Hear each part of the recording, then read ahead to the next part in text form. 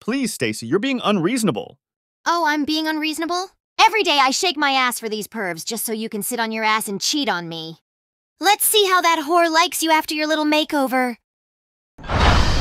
Hey, what the hell is this thing doing? I just said it's gonna give you a makeover, idiot. Obviously, it's gonna start with those hideous clothes. And next, apparently. Nice damsel scream, very fitting. My body. It's so. Feminine? Yeah, that's kind of the point. I always knew you were a blonde. Now the inside matches the outside. So long, too. The pervs love a built in leash. Pervs? Wait, I'm not going out there looking like this. Well, duh. We gotta get you dressed up first, new girl. Let's see high heels, leotard, ears, and of course. Ah! Your bunny tail. First day on the job. No way, I'm not going out there looking like this. I don't even know what I look like. Wasn't asking, but okay, if you insist.